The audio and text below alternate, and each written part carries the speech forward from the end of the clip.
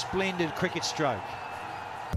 দর্শক, যুক্তরাষ্ট্রের US masters T ten লিগে আজকের ম্যাচে মুখোমুখি হয়েছিল নাসির হোসেনের আটলান্টা রাইডার্স ও Shahid Afridi New York Warriors.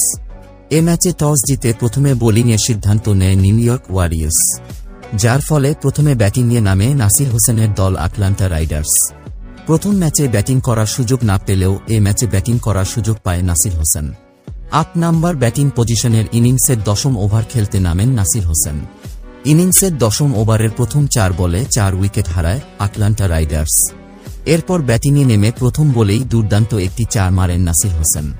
এর পরের বলে এক রান নিতে পারেন নাসির। যার ফলে দুই বল ব্যাটিং করে পাঁচও সংগ্রহ করেন এই ব্যাটার।